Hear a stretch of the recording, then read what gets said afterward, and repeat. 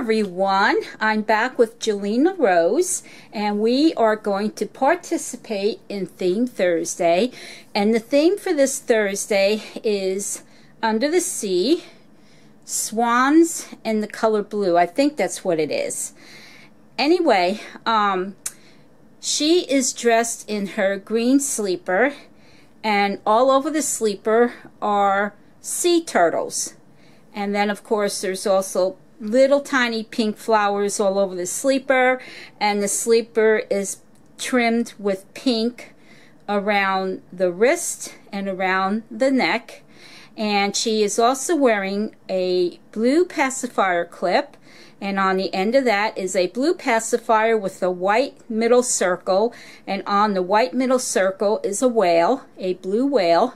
And then she is holding her white muslin blanket and on that is all different color mermaids and different color sea animals.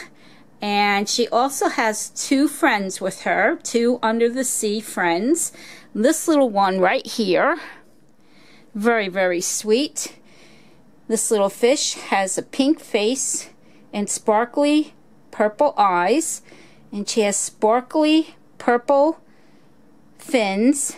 And her body is blue red, pink, orange, yellow, green.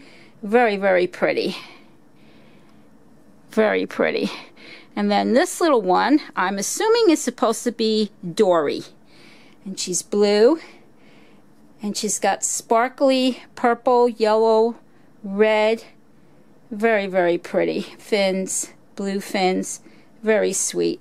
So those are her two ocean friends that are visiting with her, and she looks simply adorable for Theme Thursday.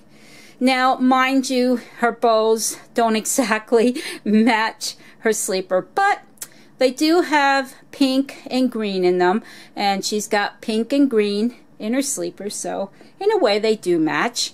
But there she is, my sweet baby girl, Jelena Rose, participating for Theme Thursday everyone, thank you for watching this video and take care and God bless. Bye for now.